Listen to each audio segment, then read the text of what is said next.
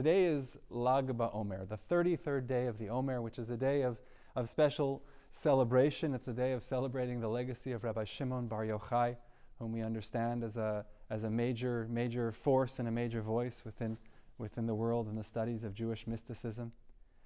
The Bnei Yissaschar in, in the early 19th century wrote a beautiful interpretation or understanding of this day of, of Lag BaOmer, the 33rd day of the Omer. He said that the 33rd word of the Torah, starting in Genesis, if one counts 33 words, the 33rd word is the word tov, or good.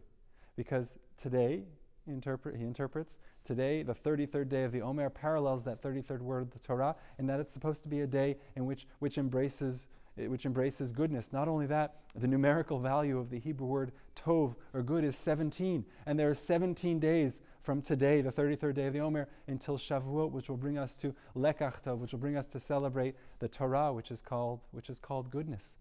In uh, Kabbalistic writings, the Rabbi Shimon Bar Yochai is, is referred to as the Butzina Kadisha, which means the holy, the holy candle, because the concept is that his teachings uh, illuminate in a world of, of darkness. And that's, that's the nature of Lag BaOmer, of this 33rd day of the Omer, in that in finding the good, because good in this world is so often covered and, and hidden away and, and, and distorted.